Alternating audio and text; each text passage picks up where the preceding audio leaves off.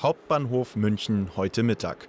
Ursprünglich wollte Nouché Bagherie erst morgen zu Freunden nach Hamburg fahren. Nach der Streikankündigung vom Sonntag hat die Ärztin ihre Reisepläne aber schnell geändert. Also als ich erfahren habe, dass gestreikt wird, habe ich sofort nach Alternativen gesucht. Entweder vielleicht Flixbus oder eben früher fahren. So wie die Münchnerin haben offenbar viele ihre geplanten Reisen vorsorglich verschoben. Aus gutem Grund, wie sich nun herausstellt. Denn die Deutsche Bahn hatte zwar eine einstweilige Verfügung gegen die GDL-Streikankündigung beantragt, den Antrag hat aber das Landesarbeitsgericht in Frankfurt vor zwei Stunden abgelehnt. Wir bedauern das natürlich, vor allem für unsere Fahrgäste hätten wir uns ein anderes Ergebnis gewünscht, aber wir müssen natürlich jetzt diese Entscheidung akzeptieren. Im Personenverkehr soll der Arbeitskampf heute Nacht um 2 Uhr beginnen und bis Freitagabend 18 Uhr andauern.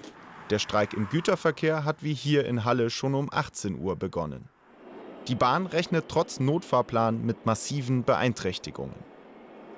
Wie auch schon in den vergangenen Streiks werden wir 20 Prozent unserer Fernverkehrszüge fahren können. Und auch im Regionalverkehr müssen wir unser Angebot massiv einschränken.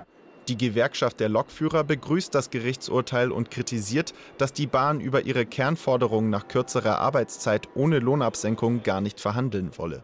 Wie weltfremd und entfernt vom Arbeitgeber muss der Personalvorstand sein, ein Teilzeitmodell anzubieten, das vom Arbeitnehmer selbst finanziert wird. Die Deutsche Bahn hingegen verweist auf ihr Angebot von letzter Woche und fordert die GDL zu weiteren Verhandlungen auf.